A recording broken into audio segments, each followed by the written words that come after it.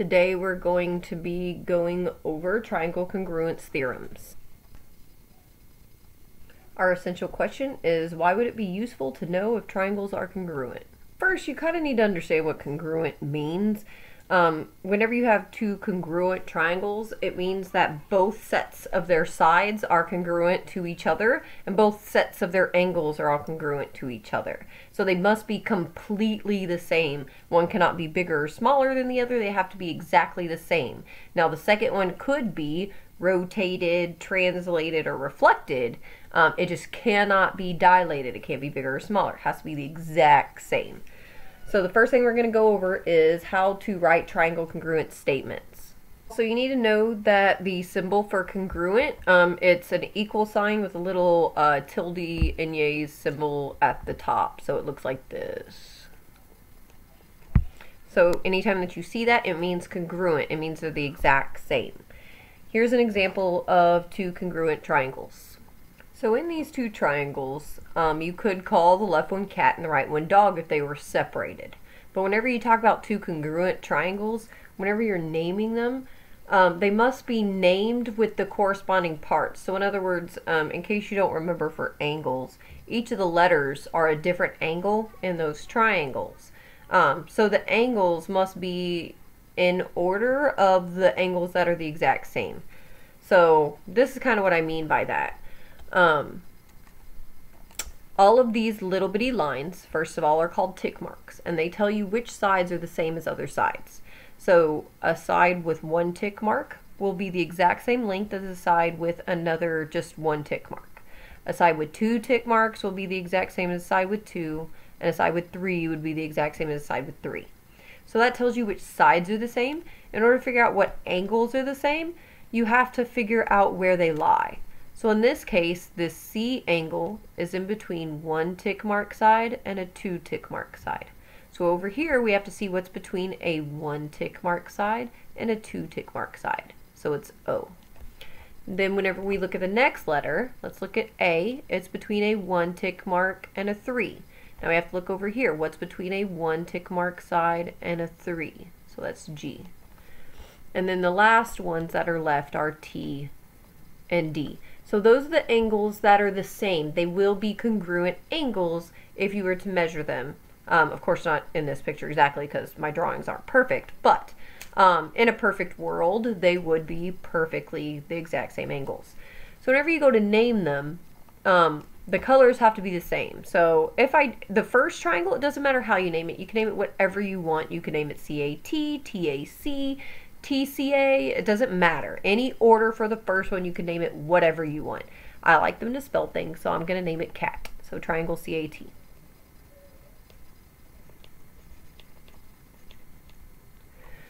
Um, also, the first thing, this little triangle, it tells you that this coming up name is going to be the name of a triangle. So that just says, just like we have the angle symbol and then we name it, um, we have a triangle symbol as well. So for CAT, C is yellow, A is green, and T is blue. And we want to write that that triangle is congruent to the one on the right. But we have to make sure that we name it the same. So if we went yellow, green, blue for this left, left one, we have to go yellow, green, blue for the right one. Which means the other triangle will have to be OGD. And that's how you would name um, congruent triangles. I'm going to show you one more example. So here's an example of two triangles that are stuck together. You have a left-hand triangle and a right-hand triangle, and then they share the middle.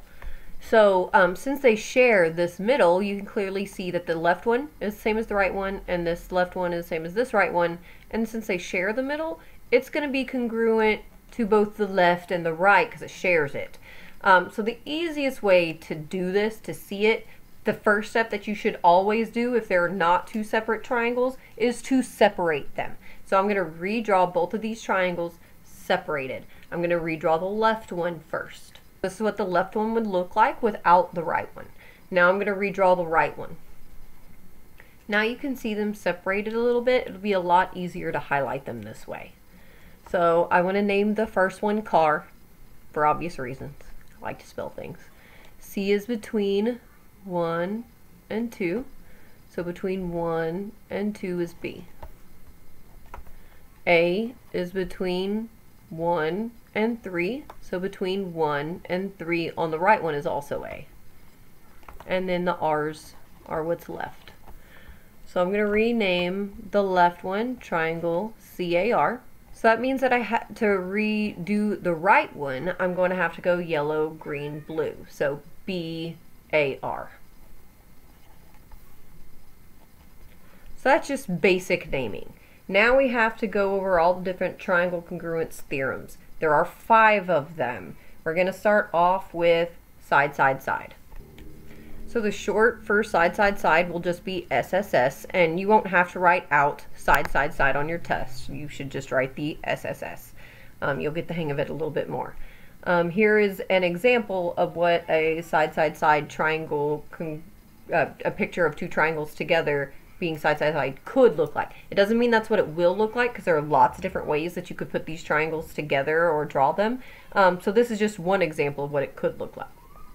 So in this example, you're given um, a top left triangle and then a bottom right triangle. They are separated by a diagonal, and they clearly show you that the top side is going to be congruent to this bottom side, and that this left side is going to be congruent to the right side.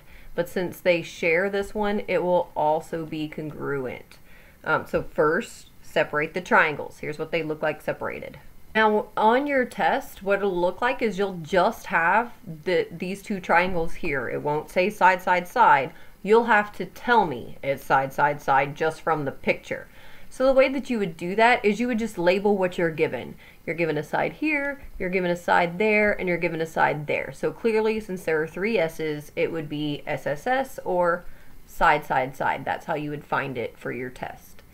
The next thing that you would have to show me on your test is all the congruent sides. Since the theorem is side, side, side, you'd have to tell me which sides are congruent to each other. So um, to do that, you need to do your highlighting. So do that first. Uh, my A is between a one tick mark and a two tick mark. Between one tick mark and two tick marks or C. My B is between a 1 and a 3. So between a 1 and a 3 is now D. And then lastly, those are left over. So let's start with sides. What you have to write is three different segments are congruent to the other three segments from the other triangle um, to prove that it's side, side, side. So on your test, it'll say proof. And these are not the ugly proofs that you might have heard about for geometry. It's not going to be terrible. Um, those proofs definitely are terrible, but I've kind of taken them out of cur the curriculum a little bit because you won't need them unless you happen to be a math major. It's the only time that you will need them. Um, so otherwise, for the rest of you that don't plan on being crazy like me and becoming a math major, you won't need to know how to do formal proofs. So I do expect you to know how to prove that your answer is right, but not necessarily a formal proof. So that's why we're doing it this way. So for this proof, you just have to write all the segments that are congruent to each other. So let's start with the one tick mark. On this one tick mark, this segment is called AB or BA. So AB, we have to say what it's congruent to on the other triangle. AB is yellow green, so on the other triangle, yellow green is CD. On my next one, um, for the two tick marks, it can either be named AD or DA. So since it was yellow blue for my second triangle, yellow blue is CB.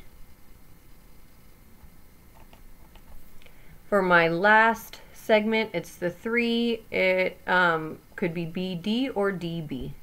Since it's green blue, your other segment needs to be green blue, which is DB. Done. So that is the proof that those triangles are congruent by side, side, side. And since all three sides are congruent, it definitely means that both triangles are congruent, which also means all the angles are congruent. So the yellow angles are congruent to each other, the green angles are congruent to each other, and the blue angles are congruent to each other. Even though it's not shown, once you know that the triangle is side, side, side, everything of that triangle is congruent to the other one.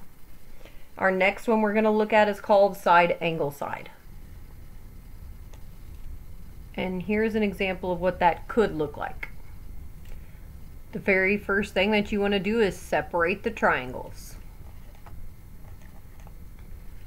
So now that they're separated, you can clearly see that two sets of the sides are equal to each other. But what we're missing from side angle side is the angle, and the angle must be between the two sides for it to be side angle side. But if you look at the original picture, it has two lines that cross. And if you can remember back to the very beginning of the school year, we went over what's called vertical angles.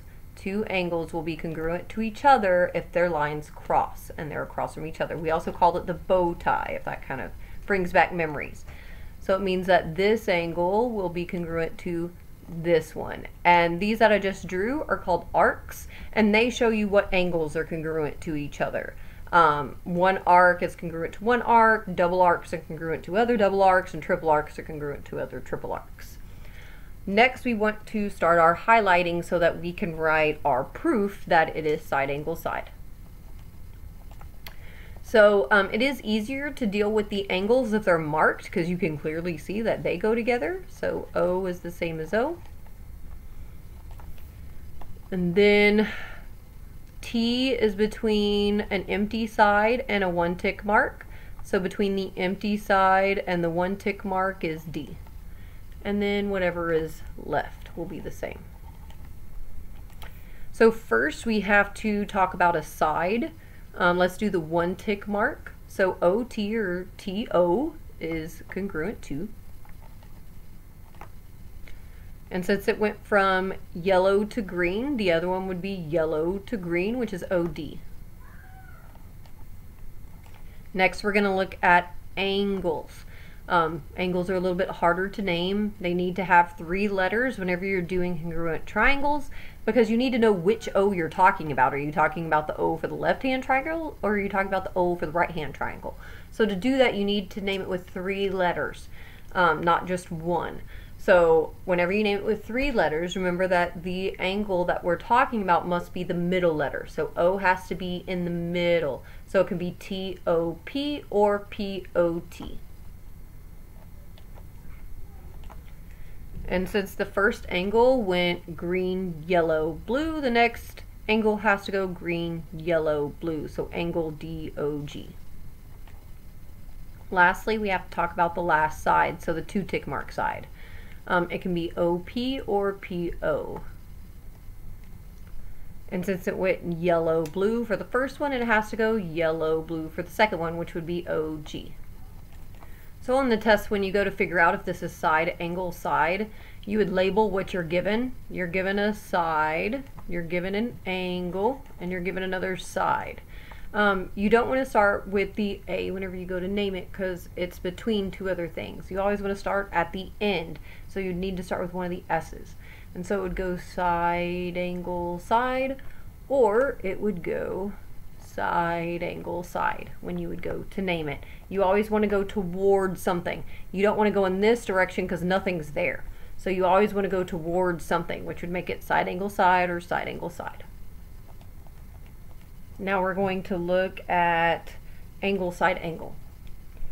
Here's an example of what that could look like. First thing you always want to do whenever you had two triangles put together is separate them.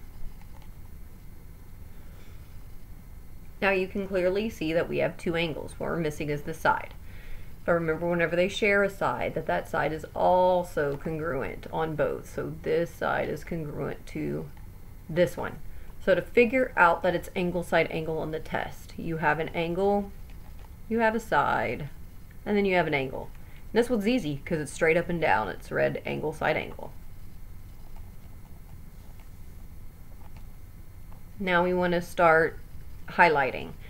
So one arc on the top one is A, one arc on the bottom one is E, two arcs on the top one is E, two arcs on the top one is A, and highlight what's left. For our proof, we need to write an angle first. So let's do the one um, arc angles. And the top one, the one arc is an A. So A must be your middle letter. So either P-A-E or E-A-P. Since the first one was blue, yellow, green, the second one must be blue, yellow, green, so TEA. The next thing we have to look at is the side. So on the top one, that's either AE or EA. One went yellow, green. The next one needs to go yellow, green, which is EA. Lastly, we need to name the last angle, so the double angle. On the top one, E is the double angle, which means E has to be our middle letter. So it could be AEP or PEA. And since the first one went blue, green, yellow, the bottom one has to go blue, green, yellow, so TAE. The next one we want to look at is called angle, angle, side.